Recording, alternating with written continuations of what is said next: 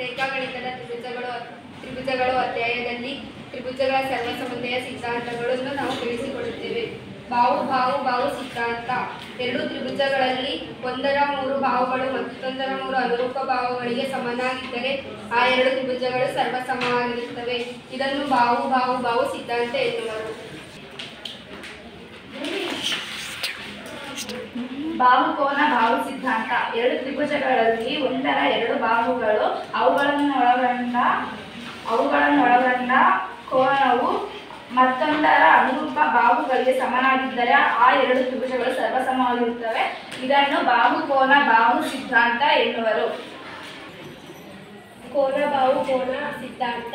ಎರ, ಎರಡು ತ್ರಿಭುಜಗಳಲ್ಲಿ ಒಂದರ ಎರಡು ಕೋನಗಳು ಅವುಗಳನ್ನು ಒಳಗೊಂಡ ಬಾಹು ಮತ್ತೊಂದು ಮತ್ತೊಂದರ ಅನುರೂಪ ಕೋನಗಳು ಮತ್ತು ಬಾಹುಗಳು ಸಮನಾಗಿದ್ದರೆ ಈ ಎರಡು ಕೋನಗಳು ಸರ್ವಸಮವಾಗಿರುತ್ತವೆ. ಇದನ್ನು ಕೋನ ಬಾಹು ಕೋನ ಸಿದ್ಧಾಂತ ಎನ್ನುವರು.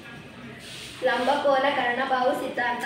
ಎರಡು ಲಂಬಕೋನ ತ್ರಿಭುಜಗಳಲ್ಲಿ ಒಂದರ ಕರ್ಣ ಮತ್ತು ಒಂದು ಬಾಹುವು ಮತ್ತೊಂದರ ಕರ್ಣ ಮತ್ತು ಬಾಹುವಿಗೆ ಸಮನಾಗಿದ್ದರೆ ಆ ಎರಡು ತ್ರಿಭುಜಗಳು ಸರ್ವಸಮವಾಗಿರುತ್ತವೆ. ಇದನ್ನು ಲಂಬಕೋನ ಕರ್ಣಬಾಹು ಸಿದ್ಧಾಂತ ಎನ್ನುವರು.